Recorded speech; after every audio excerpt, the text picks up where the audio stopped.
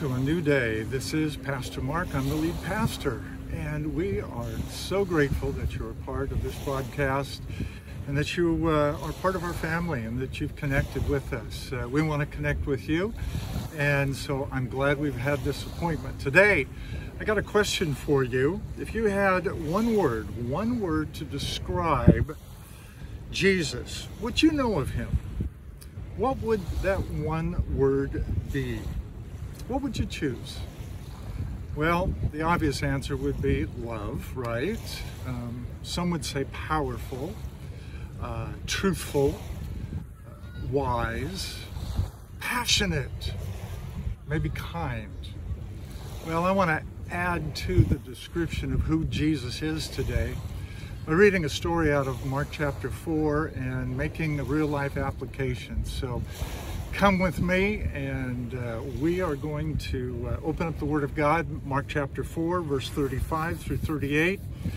It is a familiar uh, story, uh, hopefully. It is uh, Jesus in a boat and there's going to come up a storm. and We're by the seashore today and it is both a beautiful place but it also can be a very ferocious place, a scary place. And just like your world and my world, it can be beautiful, it could be wonderful, and in the next moment something could change and to cast you into the darkness and the, the, the crisis of uh, that particular moment and challenge. So read this story with this in mind. Just after the darkness of evening had arrived, Jesus said to his disciples, let's cross over to the other side of the, of the lake. So leaving the crowd, the disciples got into the boat in which Jesus was already sitting, and, and they took him with him, and other boats sailed with them. And suddenly, as they were crossing the lake, a ferocious storm arose, and with a violent wind and waves that were crashing into the boat until that boat was nearly swamped. But Jesus, I love that sentence start. But Jesus, he was calmly sleeping in the stern, resting on a cushion. What one word would you use to describe Jesus? Well, this story adds a description, and that would be calm or relaxed. And uh, here he is in the middle of this incredible storm. And he's the only one who's not bothered. He's the only one who is not worried. He's the only one who's not stressed and freaked out. In fact, he's resting. He's asleep. He's on a cushion in a boat. And remember, this has something to do, obviously, with Jesus and the disciples and the other people who were traveling with him, but it has to do with you, and it has to do with I, uh, with with with uh, it has to do with me. you and I, that's what I'm trying to say, right? So um, let's unpack this story. Um, and, and before I do, uh, I just want to remind you of all the content that a New Day Church brings on a weekly basis. We have Monday prayer, Wednesday prayer. Uh, it's on Facebook Live. Uh, we want you to be a part of that. Join in. On Sundays, we're obviously on YouTube, but we're also on Rumble, and uh, you can catch us at anewdaychurch.com. You can download our app. Uh, we have every means available to get God's Word, the resources that you need for a, a, a great life and a fulfilled life and a Jesus life coming at you all the time. And then finally, I just want to encourage you to uh, be a giver, give faithfully and give generously so that we can continue to extend the kingdom both near and far. We're doing a great work over the decades in Oaxaca, Mexico, and we've just launched a, a new project in uh, Pakistan, building a church and a home for uh, some young uh, some young pastors of ours. And so uh, this is a new day. We want you to be a part of it. Let's get back to this story and set the stage. It's a story happening in, in the time of Christ, but it's also in reference to your and my life every day. First of all, in this story, it says darkness was just setting. And there's something about darkness that's a little freaky, a little creepy, and uh, it, it kind of uh, uh, makes you anxious no matter what or where you're at. Um, and think about it. Um, it's like in darkness you have one of your senses removed, your eyesight, your ability to see. But here's what I'd like you to do. Close your eyes right now. Yeah, go ahead and close them. Now, open them again. In that brief time, did anything really change? No. We just removed one of your senses. And now I want you to close your eyes again. And again, it turns to something darkened. But now invite the person, the one, the only one who can see in the darkness, the one who said, I am with you. I'll never leave you. I'll never forsake you. I'll walk with you through the fire and through the storm and through the water. Invite that person in. Take his hand and let him lead you. You know, darkness doesn't really have power over us other than what we give it. Next time you're afraid, close your eyes for just a moment and then open them up again and realize that having one less of your senses can only increase the sensitivity of Christ and his presence for you.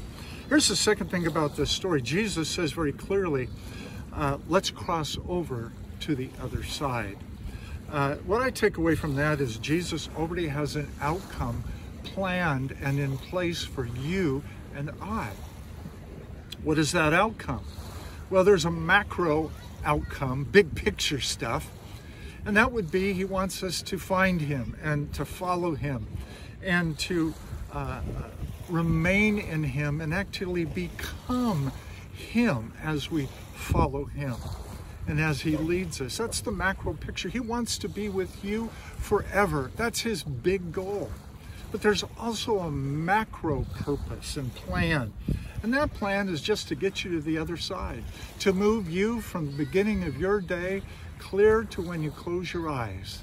He wants to get you to the other side. It could be a beautiful day, it could be no waves and wind, or it could be a ferocious day. But he wants you to move to the other side. Here's the, uh, the third takeaway Jesus uh, is not only in this uh, story, do you notice the disciples are there in a boat? But there's a third party, and that is there are others in the boat. Think about it. In life, there are only three parties it's you, other people around you, and Jesus. And they're all interconnected.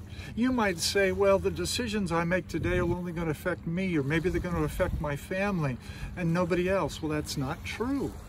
Your decisions, your responses in life always have an effect on Christ and also on others. And here's how this works Jesus first has an effect on you. And if he has an effect on you in terms of you becoming like him, you're going to affect others, whether they're near your boat or whether they're far away. You will be surprised how many people you can affect. And if something is happening to you, you bring it to Jesus. That's a connection. But then what? Other people see you bringing stuff to Jesus, and they're listening and they're watching. And maybe something happens to others, and good or bad, and it falls on you. You're a part of that, good or bad. Well, then you bring all of that to Christ. And so we are interconnected. And if we lived our life knowing that there is a Jesus with us, and he wants to be close, he wants to be there in all situations, but also there are other people watching. And you and I can have a tremendous effect simply by following Jesus. And obviously, in this story, uh, there's another backdrop to this stage. There was a storm.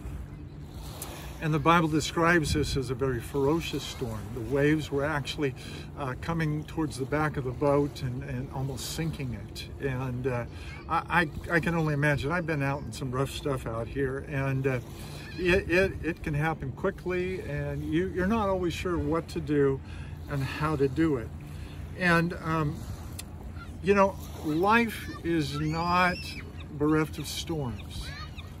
I mean, storms are all around us. Like this beach, it can be a very great day, a beautiful day, a beautiful life, and then all of a sudden something happens. And so I want you to test and see if this story isn't a great template to live your life in such a way that you're like Christ, that people would describe you as relaxed or calm or at rest, even in the storm.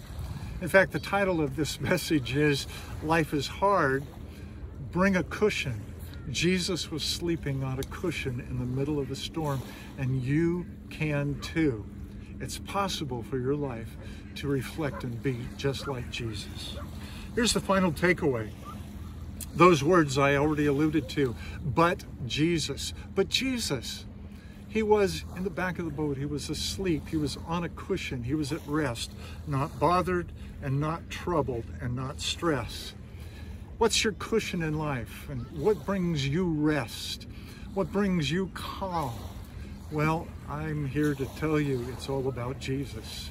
And Jesus, you place him in the middle of everything and uh, you watch what happens. And uh, we're going to continue to uh, uh, kind of tear, take this story and uh, look at the application right now. But I, I really want you and, and to think about Jesus had so many different responses. He could have pointed at the fishermen and said, listen, you guys are experts. But you know, he was an expert above all the experts. He's the living Lord, and uh, he's the one who made the seas. And so he knows what's going on. And uh, he could have uh, uh, uh, pointed at the other boats and he could have said, do something. Why aren't you involved? Get closer. And he could have blamed or accused or those kind of things. And we do that in life, right? We're looking for hope. We're looking for the answers. But, uh, you know, Jesus chose to be relaxed and calm during a crisis. And again, so can you. And it's a great way to live free from the encumbrance of the ups and downs, the circumstances, the rises and falls of life and how it comes to you. So let's take a look at the rest of the story this morning. Mark chapter 4, and we're going to pick this up at verse 39 through 41. And so as the storm was raging, the disciples, they shook Jesus awake, saying, Teacher, don't you even care that we are about to die? Pretty desperate stuff, right? Fully awake, he stood up, he rebuked the storm, he shouted to the sea, and he said, Hush, and be still. Then he turned to his disciples and said to them, Why are you so afraid? Haven't you learned to trust yet? But they were overwhelmed with fear. Again, this is a, a story 2,000 plus years ago, but it, it resonates in your life and in my life. And what are the takeaways? Well, the takeaway is life is hard. Bring a cushion. Bring someone, bring something uh, that is, is going to move you through those storms in life, even as uh, we get a little wave action behind me, right? So how do we live a relaxed or a calm life uh, in the midst of your hardships, or the darkness of your own soul trying to find the light of Christ or or the circumstances that are around you. We live in a very violent and ferocious world and, and every day there's bad news and then there's bad news and then there's more bad news. So how do we deal with that? Well, life is hard, so let's take a cushion. The first cushion is I want you to deal decisively with fear. You know, fear is not going to just go away. Fear stays until it no longer has a hold on you. Let me ask a series of questions. In this story in the Bible, for the disciples, where is the safest place on earth during this storm? Well, the answer is obvious, isn't it? it's in the boat. But it's not just in the boat, it's really with Jesus. Wherever Jesus is, it's the safest place in the whole world. Let me ask you, ask you this question. In your life right now, where's the safest place that you can be? And again, I'm leading you to an answer. It's with Jesus, and not just with Jesus theoretically or religiously, but deep in your heart a trust in Jesus that is greater than whatever you're going through, whatever the crisis, whatever the storm. Here's the last question, pretty similar. In your next storm, where's the safest place that you're going to be? Where's your cushion of comfort and rest and, and security? Well, it's Jesus. It's his presence. It's you choosing to trust over fear. And you and I practice fear or trust on a daily basis. We have those opportunities. We practice fear in some cases so often that it is our default and our go-to move. Something happens and we go, oh no. We don't even know what's happened fully. It's just this thing inside of us that jumps with anxiety and fear. Or we can practice uh, the presence and the trust in Jesus Christ. And that's how you deal uh, decisively with fear. You recognize what fear is and you put trust in its place. And you say to yourself, where's the safest place I can be right now? It's trusting Jesus and staying with Him. That's it, folks. Deal decisively with fear until fear is no longer your master and trust is the pinnacle of your relationship with Jesus Christ. Every story in the Bible, if you want to boil it down, is trust. Will you trust me in the ark? Will you trust me across the Red Sea? Will you trust me in the wilderness? Will you trust me when you're outnumbered? Will you trust me in front of the giant? Trust me and follow Jesus. Life is hard. He is your cushion. Here's the second takeaway from this story. I want you to turn the question that you have in your heart into a statement. And you might ask, well, what's the question? The question is found in this story. Don't you know or don't you care that we're about to die? And it's always in us, whether we hear it out of our own mouth or whether we think it or whether we feel it. Where is God? Why is this happening? Doesn't God love me? Doesn't He care? Where is He? Doesn't He know that this is freaking me out? It's a question. How about we turn it into a statement? Let's have a conversation. You and Jesus. Let the conversation be something like this. Do you believe I know everything that is happening and going on? And that not only do I know, but do I care deeply about you? What's the obvious answer? Yes, right? Okay. Do you believe me when I tell you? Here's the second question, respond to it.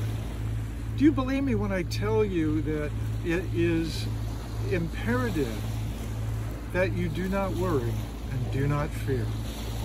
And of course, the obvious answer is, well, yeah. If you know what's going on, if you care for me, if you're with me, then, well, I'm going to choose not to worry or choose to be afraid. Here's the third question. And then um, you know, uh, as as uh, as Jesus rules out this conversation with you, he said, "Now let's take a look at what's going on in your life." And you might answer, "Well, I've got this going on, and I've got that going on, and I'm pretty concerned about that." Doesn't that, you know, I just got cancer. I just had this bad news about my job. Doesn't that qualify? Shouldn't I worry about that? I mean, I'm concerned.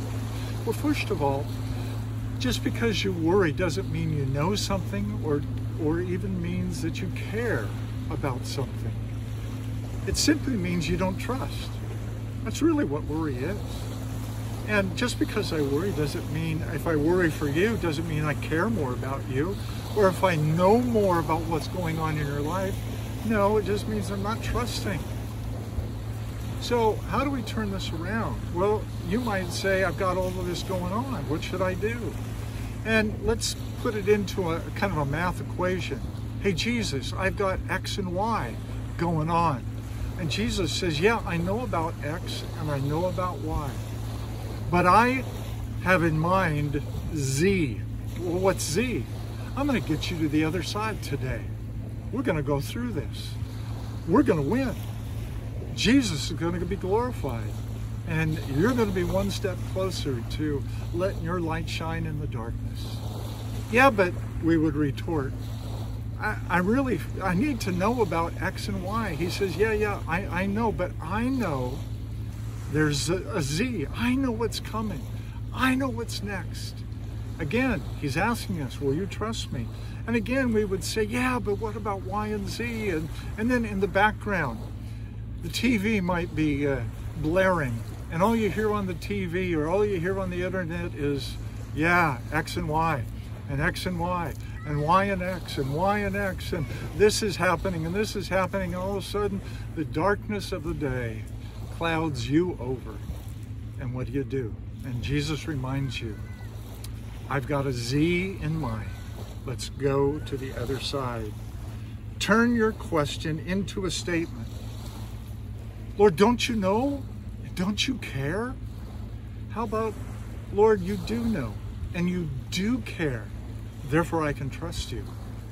Not too long ago, I had some pretty uh, unexpected bills after I gave a pretty big offering for a Pakistan project. And it was almost like the, the, the devil taunting me. See, you tried to trust Jesus and look what happens. And at, at first I was bothered by it. Like, maybe I shouldn't have done that. But then, here's what I concluded. I made those statements. Jesus, you do know about this. You do care about me and my finances. If you wanted me to make an offering, you're also going to take care of the debt. And you know what he did? He always does.